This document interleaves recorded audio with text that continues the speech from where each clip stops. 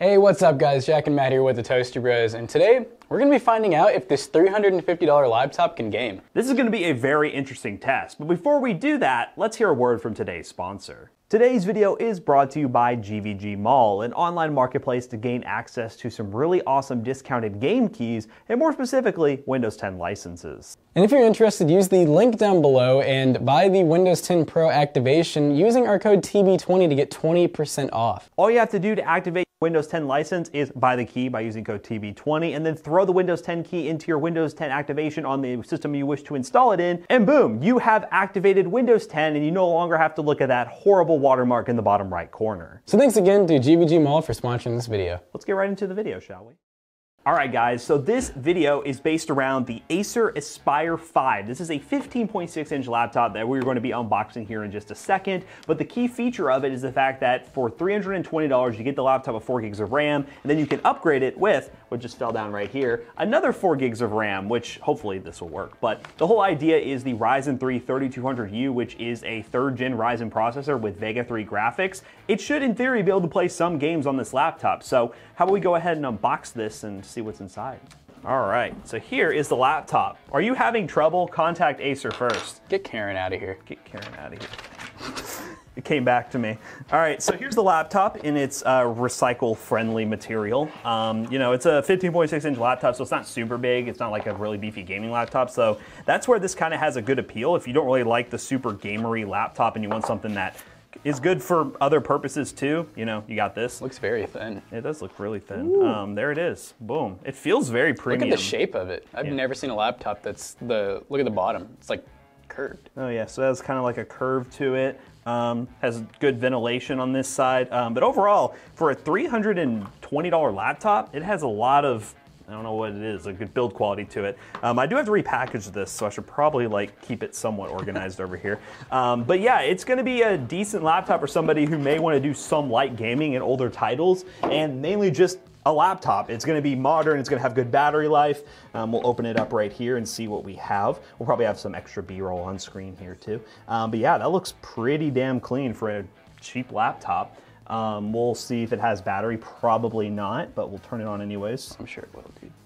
I can feel it.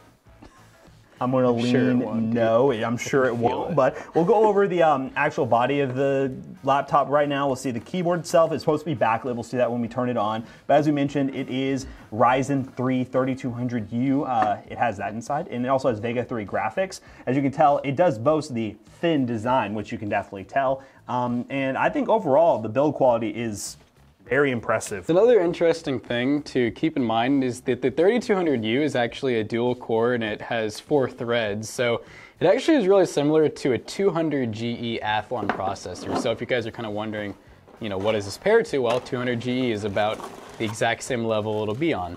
Uh, we're going to go ahead and power this on, make sure everything's working properly. And then as we mentioned, we are going to be upgrading it with four more gigs of RAM because this only has four gigs of RAM in it. And one thing to mention with Vega APUs, they use onboard memory as the VGA memory. So for like the graphics card memory, if you want your one gig of VRAM, which I think is what it defaults to, you need to get more RAM because you're literally going to lose system memory to operate that Vega graphics card. So in theory, this thing right now only has like three gigs of usable RAM, which is pretty bad in terms of 2019 2019 standards going into 2020. So uh, we're going to go ahead and upgrade that after we plug this thing in and make sure it works.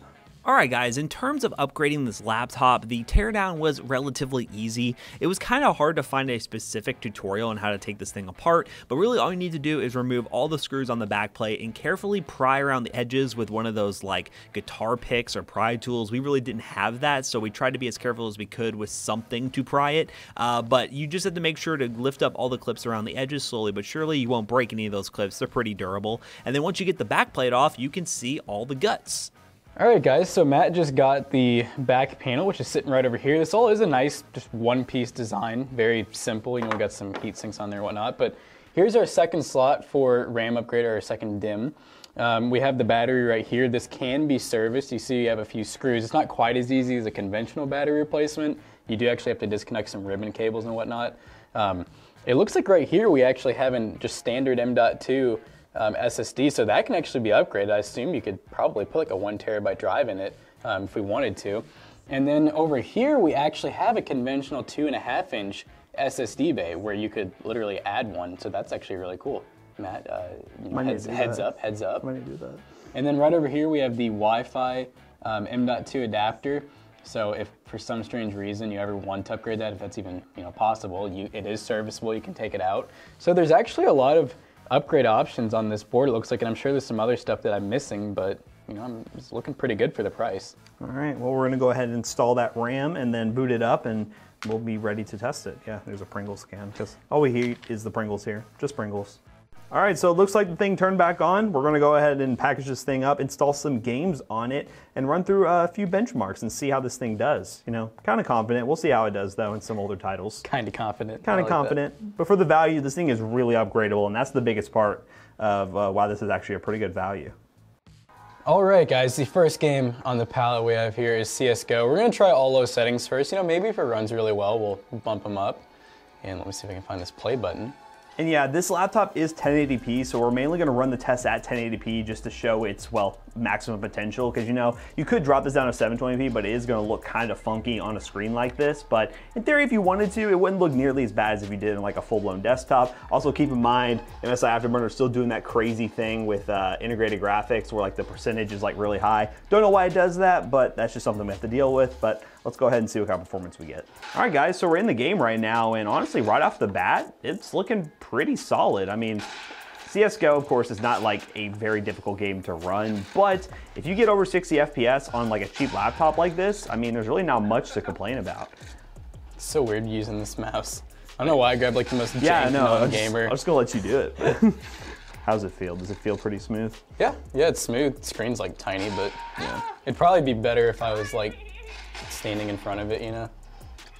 Yeah, RAM usage is around four-ish gigs, close to five gigs. Keep in mind, as we mentioned before, the Vega graphics do use uh, dedicated RAM or dedicated WAM uh, to uh, use uh, VRAM for this GPU. So you will lose some of the dedicated RAM that you have in your system. So if you want to upgrade this to like 16 gigs of RAM, that'd be the most ideal configuration, even though it would cost a little bit more money. It would be ridiculous right now with how cheap RAM pricing is. Uh, definitely, if you are getting this laptop, you're going to want to get more RAM if you want it to be anything usable really at all because like technically even if you're not playing games you only have like two gigs of ram usable so that was suck with the AK, dude. that was something you have to throw a snowball at him. all right, guys, the next game we're going to be testing is actually the Halo Master Chief Collection. Uh, the main reason we're testing that, even though it's pretty much going to easily run, fingers crossed, uh, because we're mainly testing games that is going to be more doable on this. This is not going to load up and play Call of Duty Modern Warfare or anything, but it's going to be good play games like Minecraft, Halo if you wanted to. We'll see how it performs, and CSGO, and then eventually like other Valve games if you want to. You gotta lower your expectations with a laptop like this. You could play basic titles, but just don't expect to play all the AAA games or go out in Apex and max it out. It's just, it's just not gonna happen. So uh, for 300 something dollars, I mean, you're gonna get pretty decent performance to be able to play some games while also using it as a school slash work laptop. All right, guys, so we're gonna dive into some multiplayer. We'll probably do some social games. We'll look at the options real quick. The Master Chief Collection doesn't come with any crazy like video options. It's literally just, well, we're definitely gonna run this on full screen, not that low of a resolution, but we're gonna run it at 1080p, VSync on, just to kind of limit that. We'll crank the FOV up a little bit. Um, the frame rate will be, we'll do unlimited so we can get uh, a best use case result. We'll save that, um, and then just kind of see what kind of performance we get. So we'll dive into multiplayer and do a social game because that's pretty quick. Here we are into Halo, ladies and gentlemen. You can play it at 30 FPS like the consoles were, so I mean, that's something. Uh, we'll try to lower some of the stuff in a minute, maybe drop the resolution down a little bit. Oh, see if I can snipe at 30 You, do, you FPS. have VSync on too, I think. Oh, that's true. I can turn Probably VSync help. off. Let's turn VSync off and see if we can get uh, a little bit better results. Yay! All right, we're still running around 31, 33-ish FPS, which isn't ideal, but I mean, if you're plugging up a controller and you're playing this like old Halo and you want to like run the campaigns, God, I'm gonna get like sniped on like crazy. Uh, you could definitely run it at this setting. Um, this is definitely one of the games where it looks like it's gonna be much more uh, demanding on the little Vega GPU. Oh, oh no, oh no. This is gonna be fun. Here we go, guys. Oh, probably the only thing you can do is just lower the res. Yeah, we'll lower the res down to probably 720p would be the best use case for this so we can actually see kind of performance we get. And yeah, that does help a lot. You We're can actually see better too, because that screen's just kind of small. So like 720, honestly, it looks better. yeah, 720p looks, yeah, that's definitely true. I didn't expect that. Sensitivity, sensitivity's like really low too. Oh, okay, nah, I'm stepping away. We're letting him get a shot here. Might need to crank the sensitivity. Yeah, I, just was- I, I could already tell by looking at this. it was like really low for me. That's what, Sorry, that's what it is. You just come in, just drop some kills. Oh, I hit him. Punch, punch. punch punch. But yeah, like guys, 720p is probably ideal for a game like this. And if you do uh, play a game and it's like at around 30ish FPS, you could probably drop it to 720p and get much better results. Yay! Oh. Well, there you go. Halo is actually somewhat playable at 720p. 1080p, not so much. Probably on campaign if you're just casually playing, you can play 1080p. But you know, there you go. It's it's playable. All right, guys. The last game we're going to be testing is a good old Minecraft. So we're going to run the settings. Probably like we'll max out at like 60 FPS. Uh, we'll probably drop some of these things so we can try to get a decent frame rate. I mean, Minecraft's pretty easy to run, but we just want to make sure we're not really uh, pushing this thing too hard. So um, this should be fine in terms of settings.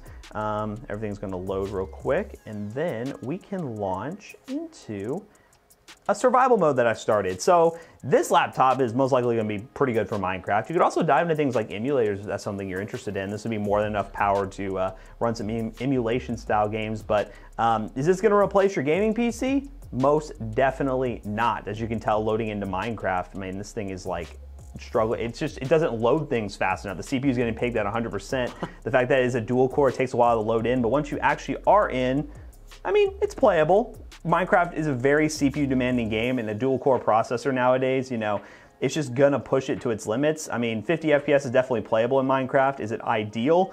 No, not really. Uh, but you know, you can run around, you can do what you want. Don't expect to download shaders or anything. Um, but yeah, this this poor little CPU and GPU combo can still play some games. Uh, expect older titles, but Minecraft, you know, let's just let's just build a little dirt house real quick.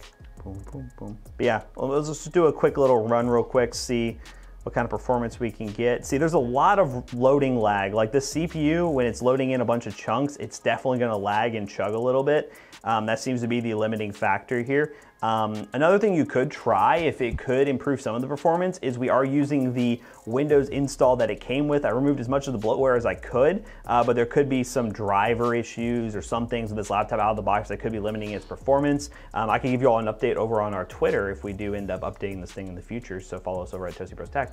Uh, but I mean, overall, I mean, it's acceptable performance with a little bit of tweaking and uh, messing around with it if this is your daily driving laptop. You have a chance to have a pretty capable little gaming machine for around 350 bucks that you can take anywhere with you, and it will complement your, uh, well, gaming PC that you may already have, or if you're just looking to give this to somebody who may want to game and also needs a laptop for schoolwork, I think it will do a great job. So overall, let's go ahead and wrap up these benchmarks and uh, talk about this thing a little bit. All right, guys. Well, this laptop for around $350 after upgrades is a pretty impressive option. If you were to get a laptop like this, maybe like even two years ago, you were not gonna get anywhere near the performance that you would with something like this. Ryzen has really delivered a really awesome offering with their APUs, and I can only expect them to get better and better with the years to come. So of course, with this being a laptop and having all the parts very small, compact, and mobile, you're not going to be getting like the absolute best bang for the buck because that's just, well, that's how laptops are. You could build a desktop for around $350 that would like blow this thing out of the water. So if you're fine with getting a desktop and having to acquire the peripherals and whatnot, you know, we recommend that. But if you need something portable, you need something cheap, you need something that's power efficient, this is a really good go-to option. And if you are interested in purchasing this laptop, the links will be in the description down below. They are affiliate links and they do help support us. So if you do purchase down below, thank you very much. Another video that we're also getting ready to do, which I'm sure we'll maybe put an eye in the top right corner once that video is available, is we'll be doing one of those cheap, kind of like no-name brand laptops as a 3500 unit that's actually around the same price right now as this. So that'll be a really interesting comparison. So be sure to subscribe to see when that video goes live and also comment down below if you're interested in picking this laptop up and if you have a laptop like this and if you, well, can game on it. What games do you play? Kind of interested to see what kind of games you're playing on a budget laptop like this. So we hope you guys enjoyed today's video. Don't forget to like, comment, and subscribe, and we'll see you guys in the next one. Goodbye. Peace. Oh, sorry. It's our new thing, remember? Yeah, I we gotta do that.